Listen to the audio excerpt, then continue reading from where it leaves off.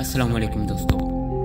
हजूर शेखुल इस्लाम ख्वाजा मोहम्मद कमरुद्दीन सियालवी अलैह का लाहौर में गुर्दे का ऑपरेशन था। डॉक्टरों ने कहा यह मेजर सर्जरी है और बेहोश करना बेहद ज़रूरी है। आपने फरमाया, मैंने नशा बिल्कुल नहीं लेना। डॉक्टरों का पूरा बोर्ड हाजिर था।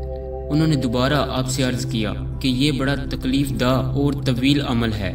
गुर्दा रिमूव करने के बाद स्टिचिंग का मरहला भी बेहद दर्दनाक होता है। लिहाजा आप इजाज़त दे दें। सुबहान अल्लाह गैर मामूली अज़म हौसला आपने फैसला कन लहजे में फरमा दिया कि मैंने नशा बिल्कुल नहीं लेना। सर्जन ने अर्ज़ किया कि फिर यह सब कैसे होगा? आपने जवाब दिया कि जब आप अपने काम शुरू करने लगे तो मुझे बता देना। मैं कोई अपना काम शुरू कर लूँगा।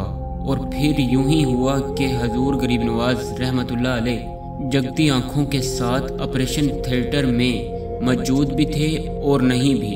अल्लाह अकबर।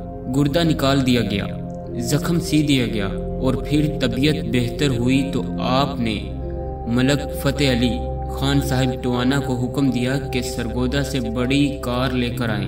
मैं पिछली सीट पर लेटकर वापस का सफ़र करूँगा। मलक साहिब कहते हैं कि यूँ ही हुक्म मिला, मैं गाड़ी का तेल पानी चेक किए बगैर निकल पड़ा।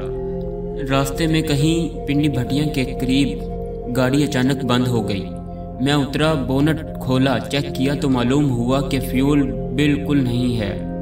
वक्ती तौर पर परेशान हुआ, मगर अपने सायों की तरफ़ तवज्जो करके बिस्मिल्लाह पढ़कर दोबारा स्टार्ट की तो गाड़ी चल पड़ी। पुराना रूट था।